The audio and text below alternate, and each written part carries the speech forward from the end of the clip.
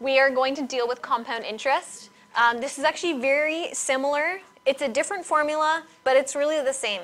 Um, so we talked about percent growth. Remember when we talked about percent growth? Yes.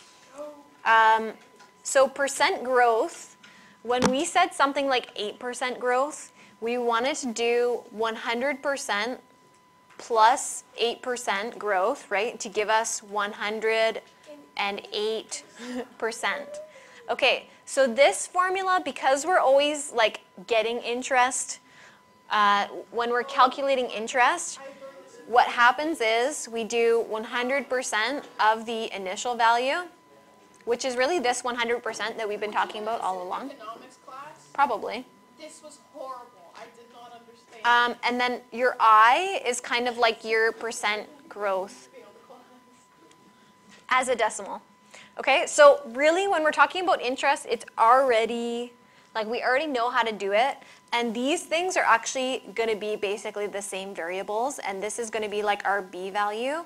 And this N value is kind of like our X value. So these things are always all very similar to the formula that we've been working with all along. Okay? So capital A is not the same as lowercase a in our old, old uh, formula. Capital A means future amount. You're drawing The B is the one in the X and the one in the I. Hmm? B is like the 1 plus I. Oh, which is 100 plus 8. Yep. P is what we call our principal value, which is essentially initial value. But when we talk about interest, it's called the principal. I am literally stuck. Can we try again? I did not understand it at all. You know what? I'm right there. Okay? Our I. Our I is going to be our interest rate as a decimal.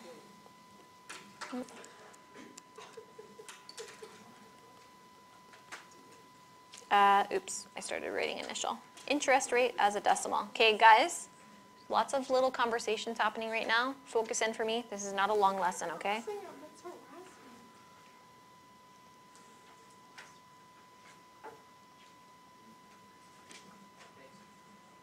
Okay, and our n value, Carlo, is slightly different than our x value. Um, our x value, we used to do total time over uh, the number or the growth period or decay period.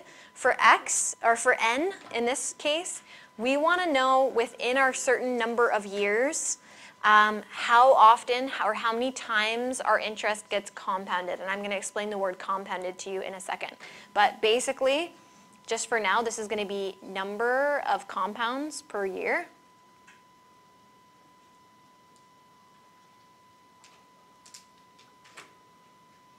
Uh, times our total number of years, and that will give us the number of times in our total time span that the interest gets compounded. Okay, for our examples today, our number of compounds each year is always going to be 1. So really, in our examples today, n is just going to be equal to number of years. But once we start to change the compounding period, the n value will also change with it. Um, and then the other thing is, is that when our compounding, our number of compounds per year changes, the interest rate as a decimal actually needs to be divided by uh, number of compounds per year. But again, in our examples today, it's just going to be compounded once a year, so we won't have to worry about that. And I'll, I'll, I'll expand on this idea a little bit more tomorrow. Um, okay, so the one in the formula above, I briefly explained that to you. Um, but the idea of compound interest is that when we do compound interest, what happens is each time I compound my interest or I add my interest onto my principal amount, I actually start earning interest on the amount I, let's say I do an investment, I put $100 in and I invest it. I will start earning interest on the $100 and then I compound that interest that I earned, which means I add it to that $100. Let's say now I have $105 from the interest I earned. And then once my time moves forward, I actually earn interest on the $100 I put in plus the extra $5 that I earned from compounding or adding on my interest to my principal amount the first time. So the one in our formula, the one represents 100% of the principal value. So the amount that I put in myself, or that I that I was loaned by someone. And then we add interest onto it, okay?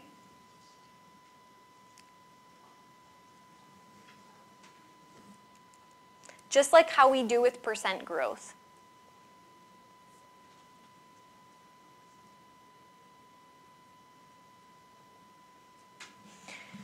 So in order for me to be able to do what we call compounding or adding our interest onto the amount that we invested ourselves, I need that one plus my I, so 100% of what I had plus the interest that I earn in that formula somewhere, right? I want to get back my principal amount and I want to get back some interest on top of that.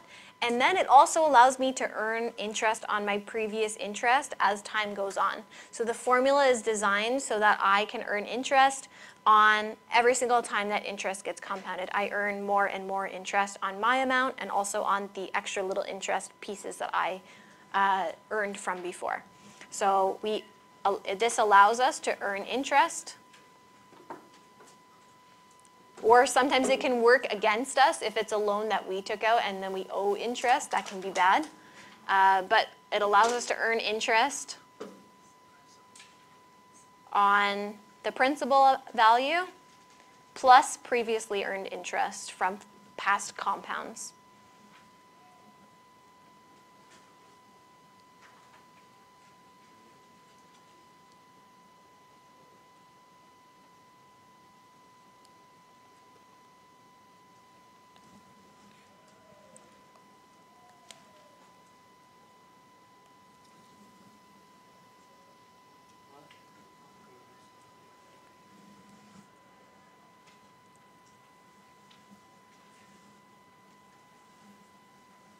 Okay, so what I'll get out from the interest formula is when I'm trying to calculate something to do with interest, I'll actually get the total amount of money that I have. I'll get, if I put in $1,000, I'll get out for my interest formula maybe like $1,000, like $1,173. It will give me back my $1,000 plus the extra interest that I earned on top of that. It gives me the total amount in that account or whatever, in that investment or from that loan or whatever.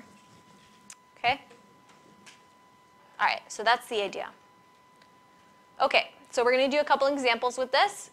This time we're just going to talk about uh, interest that gets compounded annually, which is once a year. So when you see annually, like in this question, this is one compound per year, which means my interest gets added like onto my principal amount at the end of the year.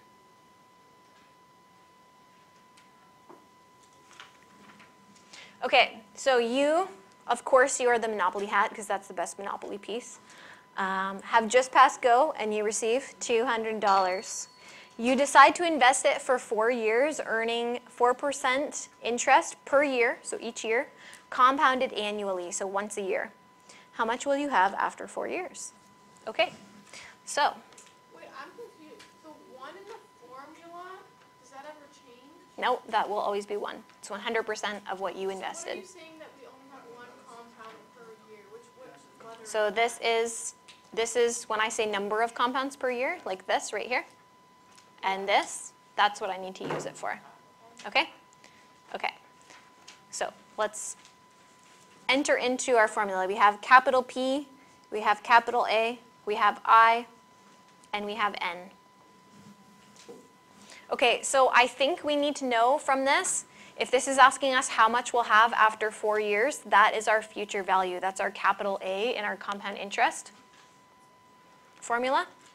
How much do we invest? What's our principal amount here? $200 is our principal amount. That's how much is being put into this investment. I, interest rate as a decimal. How do I make 4.7% into a decimal? Sam?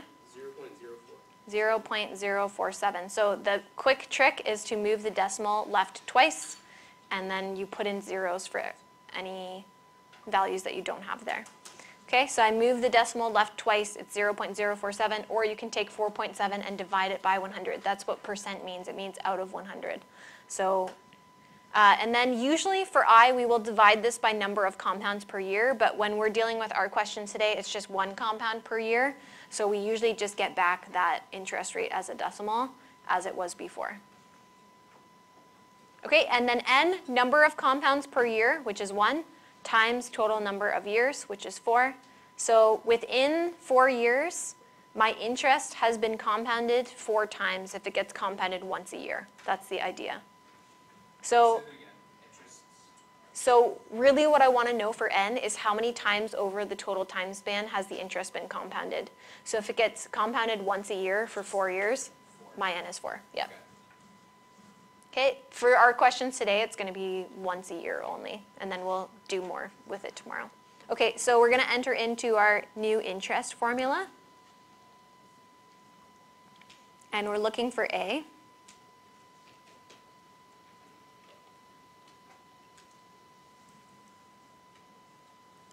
And if you'd like, before you, you can enter it into your calculator just like that, or you can add in here and then just enter into your calculator. Um, please do not be the guy, again, I said this yesterday, I'm going to say it again because I know someone's going to do this. Don't multiply 200 by 1.047. You're doing the exponent on 1.047 first, and then you can multiply it by 200. If you just put it in your calculator, Your calculator should know the right way to do that, yeah. So if you just put it in, your calculator will take care of it for you. So what do we get here?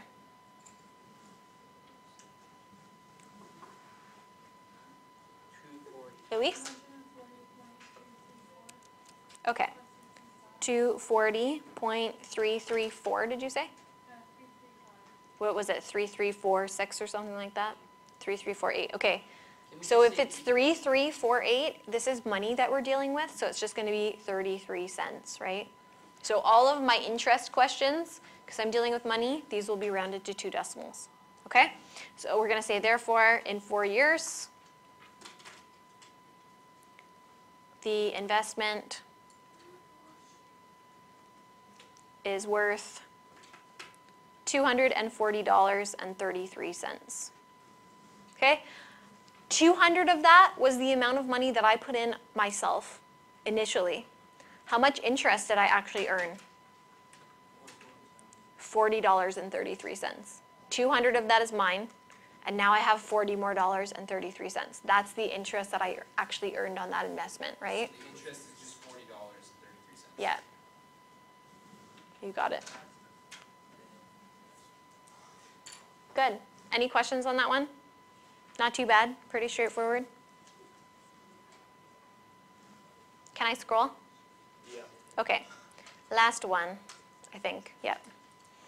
Okay, so you are about to go to university. When you are done in four years at the end of university, you want to buy a new car. The one you're looking at costs $16,000. If you can find an investment that pays 10.9% interest per year, very hard to find, very volatile uh, investment, um, how much should you invest now? Okay, invest now. What does that tell us we're looking for? initial value.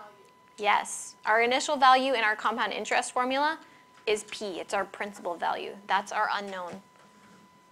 Okay, when you see words like start, now, initially, stuff like that, that's your that's asking for your starting value. Okay? How much do I want to have in the future? 16,000. Good. Okay? I interest rate as a decimal. What's my I? Yes, thank you. 0.109. I take this, I move it left twice, and then I have it as a decimal.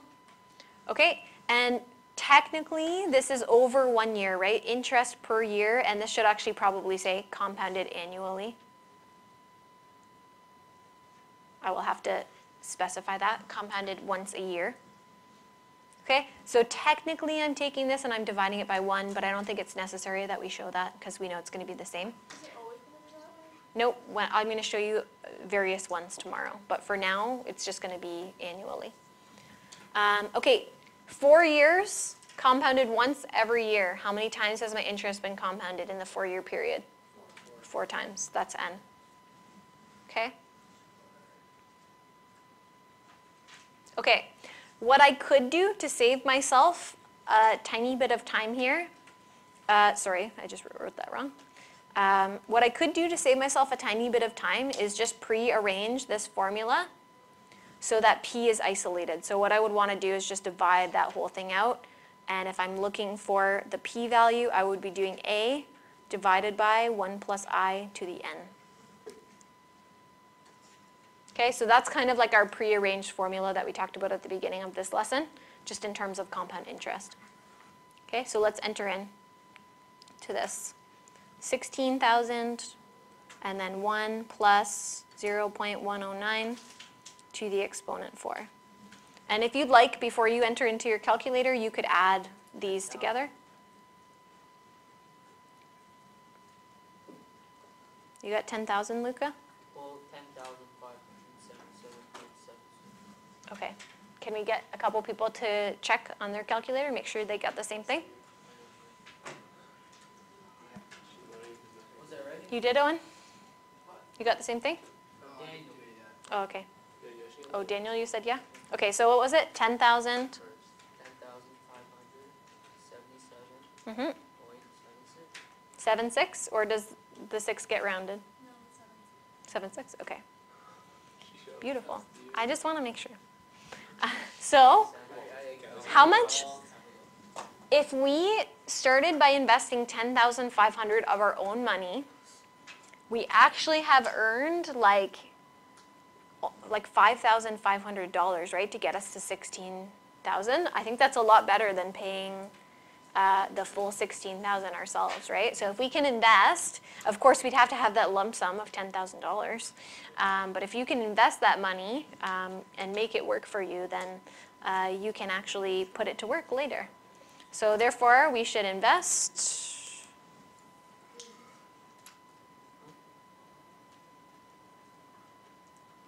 Ten thousand dollars, five hundred and seventy-seven and seventy-six cents, in order to have sixteen grand in four years, or at the end of university.